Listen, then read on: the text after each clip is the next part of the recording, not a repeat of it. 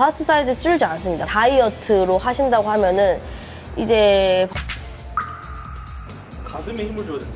만져. 내려가. 네, 만져봐도 됩니다. 오! 안현욱입니다. 오효정입니다. 다이어트, 또 근력 향상을 목적으로 오시거나 몸이 불편하신 분들을 목적을 달성해주는, 도와주는 역할이 헬스 트레이너라고 생각합니다. 여러분들이 원하는 최상의 나의 몸 컨디션 상태나 내가 꿈에 그리던 바디를 만들어주는 그런 길을 인도해주는 사람이라고 생각하시면 될 것 같아요. 대학생 시절 때 알바 용돈 벌려고 시작했었는데 사장님께서 달콤한 유혹으로 한번 일해보자 해가지고 그때 이제 고민하다가 뭐 시작하게 된 게 3년째 트레이너 생활을 하고 있습니다. 저도 아르바이트로 이제 info에 일을 하게 되었다가 운동하는 분들이 너무 멋있어 보이고 조금 너무 즐거워 보였어요. 제가 아르바이트 끝나는 시간에 이제 되게 저도 운동을 시작하게 되었었는데 이제 대회도 나가보고 하니까 제가 아는 거를 나눠드리고 싶었어요. 거울 앞에 가서 무조건 사진 찍거든요, 저는. 남자분들은 이제 어깨, 상체 막 이런 거 찍은 다음에 여자분들은 힙 라인이나 내 허리 라인 위주로 찍으니까 남자분들이 그렇게 찍으면 아마 오해의 소지가 있지 않을까. 몸이 좀 비대하시고 또 아픈 분들도 계중에 계셔요. 트레이닝만 해서 그분이 케어가 되고 몸이 변화가 되면 좋은데 약간은 심리 상담사가 되는 느낌도 있고요. 네, 그 헬스 트레이너뿐만 아니라 또 이야기도 들어줘야 되고 또 그분의 또 생활이나 여러 가지 다방면으로 케어를 해줘야 되기 때문에 그런 부분이 좀 많이 힘들지 않나.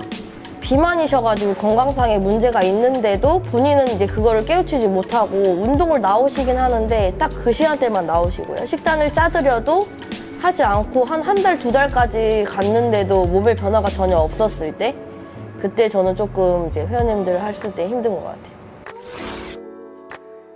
회원님이 원하는 목적을 달성시켰을 때 또 이제 사소하게 말을 잘 듣지 않는 분이 잘 따라왔을 때 만족감을 느끼는 것 같아요. 맞아요. 유니폼을 이제 맨 처음에 3X까지 입으셨었는데 이제 2X 라지를 입으시고 그냥 X 라지를 입으시고 운동을 하셨을 때 이제 저희가 맨 처음에 body 상태를 알잖아요. 이제 그게 계속 거듭되면서 살이 빠지는 모습에 너무 저는 보람차다고 생각하고 근데 이걸 업으로 삼기에는 남다른 각오와 좀 더 그 진지하게 인생에 대해서 고민을 해본다고 하면은 추천을 해, 해주고 싶은데 외형적인 것만 보고 하고 싶다 이렇게 하면은 저는 좀 말릴 것 같아요. 음, 맞아요. 저도 뭐 이제 본인 운동하는 거 좋아하고 이제 사람들 대하고 만나는 거에 좋아하는 사람이라면은 그래도 추천은 해주고 싶어요.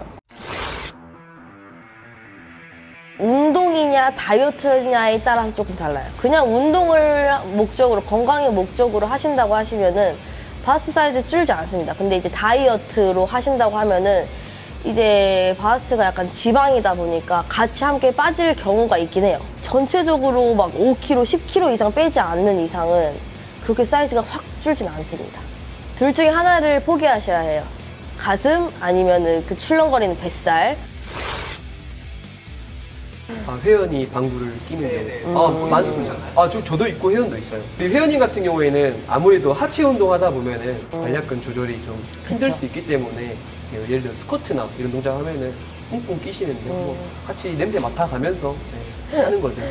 저도 수업하다가 이제 자연스럽게 방귀를 낀 적도 있고요. 꽝 이렇게 크게 끼시는 분들 없었어가지고 그냥 모르는 척 조용히 넘어갑니다. 오, 아, 네, 안녕하세요. 네. 아유, 안녕하세요. 어, 아유, 네. 영광입니다. 네, 이쪽 아, 몸이 너무 좋으시네요. 마이크 위치 괜찮으신가요? 자, 마스터에게 질문 한번 드려볼게요. 네네. 자, 홈 트레이닝 마스터라고 하셨는데 네네, 자, 그렇습니다. 어떤 종류의 홈 트레이닝 하고 저는 네 푸시업. 아, 푸시업만. 아, 푸시업만. 아, 푸시업도 이제 자세를 막 바꿔가면서 오. 그게 좀 효과가 있나요? 그 제가 묻고 싶은데 네. 효과가 있나요? 그래서 저 보통 이렇게 합니다. 내려갔다가 오. 올라오는 자세가 맞나요? 개, 개인적인 생각으로는 손목에 좀 부담이 가지 네. 않을까라는 생각도 손목이 네. 체중을 바로 받을 수 있게끔 네. 지지하고 있기 때문에 약간 사선으로 밀어주시는 게 좋아요 예, 한번 해보시겠어요?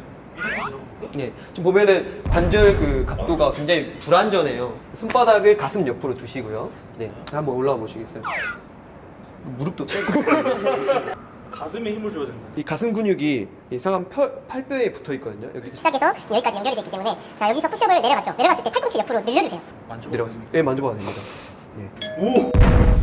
NS 위치니스 광주에서 가장 핫한 헬스 클럽이고요. 변화가 필요하다면 언제든지 찾아주시고요. 파시코 많이 사랑해주세요. 또 언제든지 운동 가능하니까 24시간입니까? 네 직업 때문에 바쁜 분들은 꿈을 대지 말고 언제든지 찾아주세요.